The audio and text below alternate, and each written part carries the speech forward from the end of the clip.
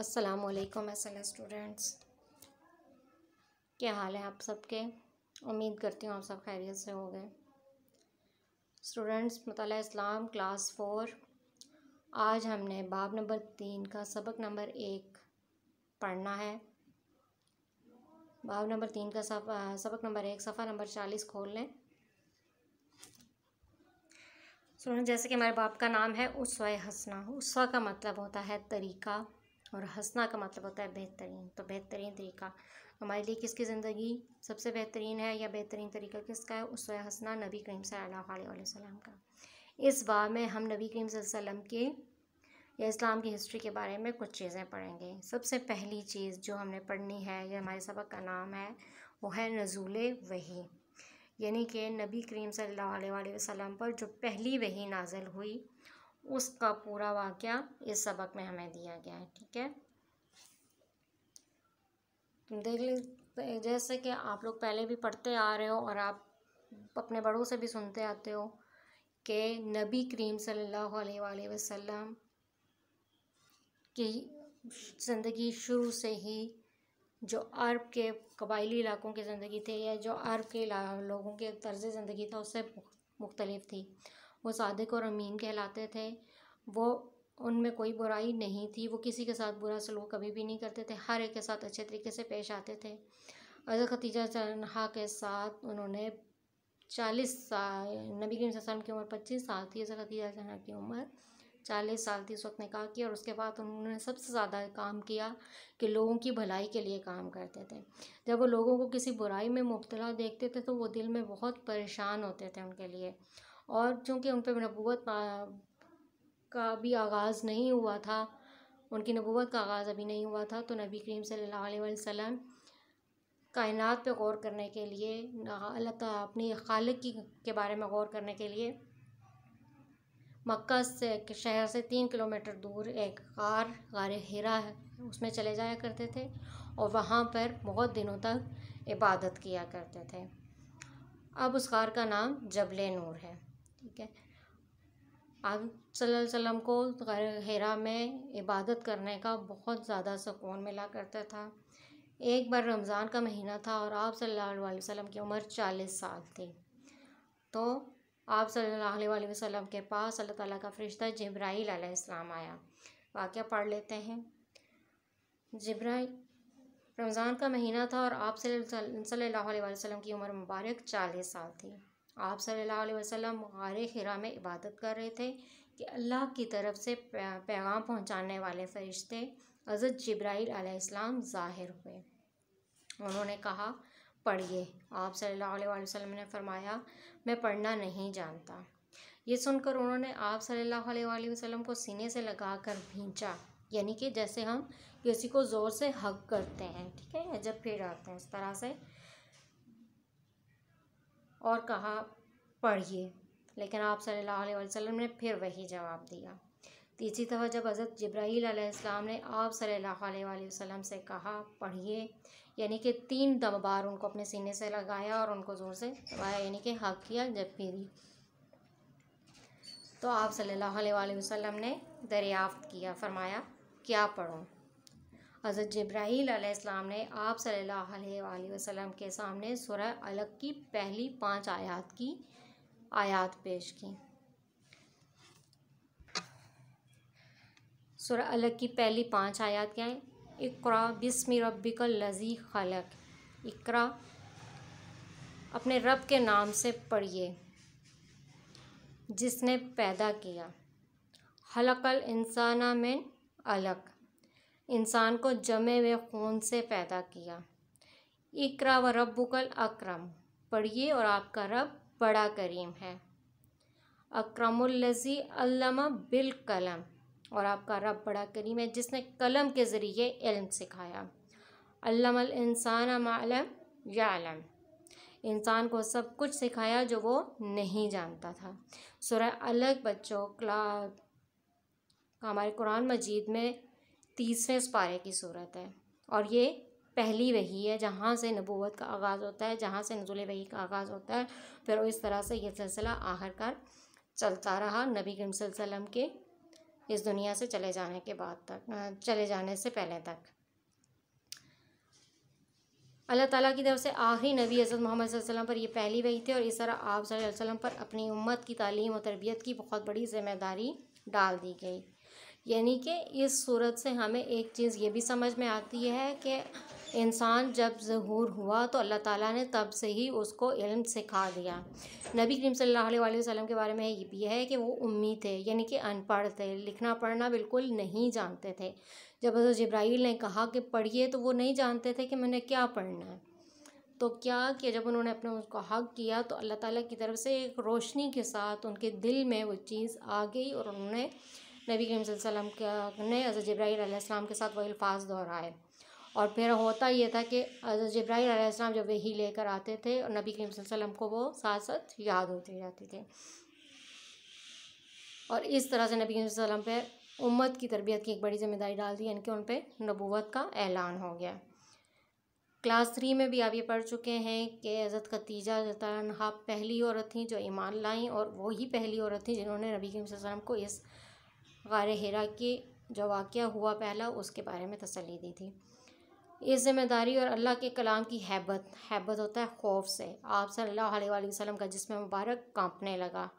ज़ाहिर है, एक आम चीज़ हमारे सामने आ जाए तो हम कितना ज़्यादा परेशान हो जाते हैं। तो वो तो एक अल्लाह के फरिश्ते थे और इतनी बड़ी बात तो उस पर तो कब कभी उनको तारी होगी और फिर वो खौफ खुदा रखने वाले आप सल्लल्लाहु फ़ौरन घर तशरीफ़ लाए और खतीजा को कार खिरा का वाक़ सुनाया। हज़रत खतीजा खान ने आप अलैहि वसल्लम को तसल्ली देते हुए कहा, ये अल्फाज आपने क्लास थ्री में भी पढ़े अल्लाह आप सल्लल्लाहु वसल्लम को बेयार मददगार नहीं छोड़ेगा, क्योंकि आप अलैहि वसल्लम हमेशा सच बोलते हैं, रिश्तेदारों के साथ से नेक सलूक करते हैं अमानतें अदा करते हैं। अरब में हमारा बैंक सिस्टम है तो बैंक सिस्टम नहीं था तो लोग नबी करीम सल्लल्लाहु अलैहि वसल्लम के पास अपनी अमानतें रखवाया करते थे, अपनी कीमती चीज़ें रखवाया करते तो नबी करीम वसल्लम जैसे उनको रखते थे, वैसे ही वापस लौटा दिया करते थे।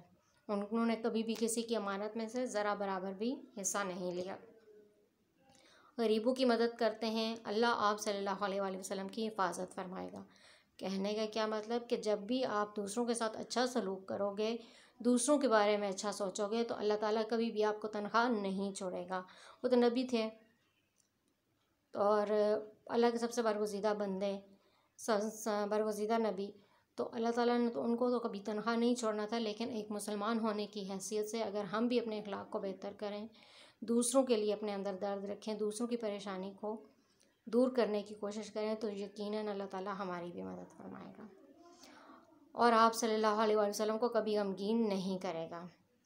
फिर अजन खतीजा तलाहा नबी करीम वसल्लम को अपने चचा ज़ाद, भाई वर्का बिन नौफल के पास ले गई वर्का बिन नौफल, तौरात और इंजील। तौरात जो कि मूसा इस्लाम पे नाजर अंजील हज़रत ईसा इस्लाम पे नाजर हुई, उसकी बहुत बड़े माहिर थे। यानी कि वो उनका इल्म जानते थे। जैसे हमारे कराम है, कुरान को तर्जमा और तफसीर और उसकी पूरी हिस्ट्री के बारे में जानते हैं और हमें जब भी कोई मसला होता है, हम उनसे रुजू करते हैं।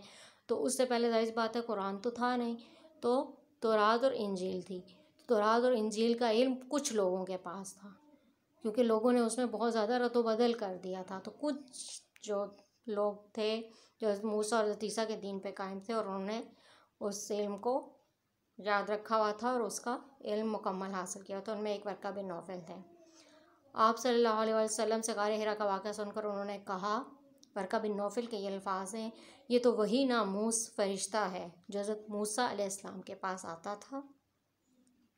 ए काश मैं उस वक्त तक ज़िंदा रहता जब लोग आप सल्लल्लाहु अलैहि वसल्लम को आप सल्लल्लाहु अलैहि वसल्लम के घर से निकाल देंगे।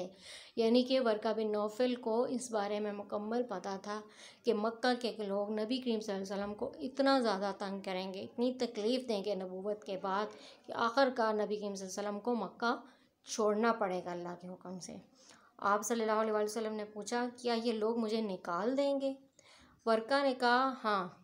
पहले ज़माने के नबियों और रसूलों के साथ भी इनकी कौम के लोगों ने ऐसा ही किया था। यानी कि उन्होंने पूरी हिस्ट्री बता दी कि किस तरह हज़रत ईसा इस्लाम की कौम ने, उनके साथ क्या किया मूसा की कौम ने, हज़रत साले की कौम ने, हज़रत शुएब की कौम ने। यानी कि मुख्तलिफ़ अम्बिया के बारे में उन्होंने पूरा बता दिया कि किस कौम ने उनके अपनी किस कौम के लोगों ने अपने नबियों के साथ क्या सलूक किया। अगर मैं उस वक्त ज़िंदा रहा तो आप सल्लल्लाहु अलैहि वसल्लम की भरपूर मदद करूँगा। यानी कि उनको पता था कि शायद मैं उस वक्त तक ज़िंदा ना रह सकूँ, वो काफ़ी बुज़ुर्ग भी थे। मगर थोड़े ही दिन गुजरे थे कि वर्का का इंतकाल हो गया। स्टूडेंट्स, ये नबी करीम वसल्लम पर नाजिल होने वाली पहली वही थी और इसके बाद फिर वही का आगाज़ हो गया और आहिस्ता आहिस्ता नबी करीम वसल्लम पे उसके बाद नबी करीम वसल्लम के दिल से आहिस्ता आहिस्ता ये खौफ निकलता गया कि अल्लाह ताला ने फिर सूरह मुदस्सर में कहा कि ए कंबल ओढ़ के सो जाने वाले। ठीक है? कि नबी करीम वसल्लम का खौफ आहिस्ता आहिस्ता अल्लाह ताला ने उनके दिल से निकाला और उन्होंने फिर इस्लाम की तबलीग और अशात का काम शुरू कर दिया। इसकी तफहीम देख लें। गार हिरा डैश के करीब एक पहाड़ में है। मक्का के करीब एक पहाड़ में है। आप सल्लल्लाहु अलैहि वसल्लम गार हिरा में डैश के लिए जाते थे। इबादत के लिए। जैसे इब्राहीम अलैहिस्सलाम ने मोहम्मद अलैहि वसल्लम की ज़िंदगी पे गौर फ़िक्र किया था। अल्लाह ताला की ज़िंदगी पे गौर फ़िक्र किया, अल्लाह ताला की ज़ात पे गौर करने की कोशिश की थी, उनकी ज़ात को खोजने की कोशिश की थी। तो इसी तरह से नबी करीम वसल्लम भी गौर फ़िक्र के लिए गार हिरा में जाया करते थे। गार हिरा को अब जबले नूर कहा जाता है। नबूत का आगाज़ डैश से हुआ। सूरतुल अलग की पहली पाँच आयात से। ये सूरत मैंने आपको पहले भी बताया, तीसवें पारे में है। आप सल्लल्लाहु अलैहि वसल्लम पर पहली दफ़ा अल्लाह का पैगाम डैश लाए, हज़रत जब्राईल अलैहिस्सलाम वो फरिश्ते हैं जो नबियों पर अल्लाह की वही लेकर आया करते थे। आप सल्लल्लाहु अलैहि वसल्लम ने नबूवत के वक्त सबसे पहले हज़रत खतीजा अनहा को बताया। नबूवत के मतलब यानी कि वो ही उनके करीब थी, उनकी बीवी थी और सबसे पहले उन्होंने आके उन्हीं से सारा वाक़ बयान किया। आप सल्लल्लाहु अलैहि वसल्लम पर अपनी डैश की तालीम तरबियत की ज़िम्मेदारी डाल दी गई, उम्मत। पहली वही लेकर आए, कौन?